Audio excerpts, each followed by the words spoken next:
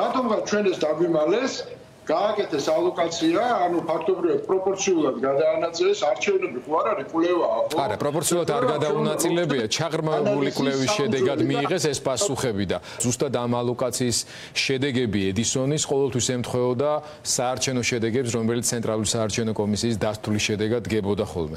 არჩევნების შედეგები, შედეგებზე მუდმივად ლაპარაკი იყო, რომ გაყალბებული იყო, ხო? ჩამოყალიბდეს, გაყალბებული იყო ის არჩევნები, თუ მართალი იყო. აი ამაზეა საუბარი, თორე აუდიტორიას ახლა შეიძლება გონია რომ ჩვენ რაღაც დავმალეთ ან ედისონმა რაღაც დამალა. არა, ეს არის ალოკაციის შედეგი. არ მithქვამს რომ დავალა. მაგრამ არც ერთ წიანდადებას არ მომთავრებინებ. არა, იმიტომ რომ იმავეს იმეორებთ, ბატონო გია და ჩვენც აუდიტორი არ გვინდა შეცდომაში შევიდეს თქვენი ანალიზიდან გამომდინარე.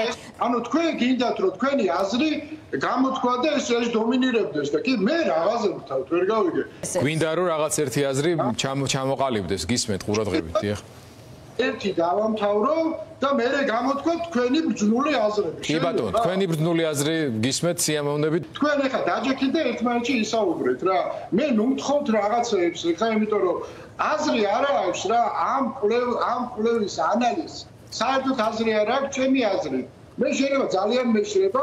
კი ბატონო, თუ თქვენ ას თქვენ თუ თქვენ ასეთ თulit ჩვენ ძალადობას ვერ განახორციელებთ. მადლობას გეტყვით იმისთვის, რომ მაინც დრო გამოხატეთ და მიიღეთ მონაწილეობა გადაცემაში.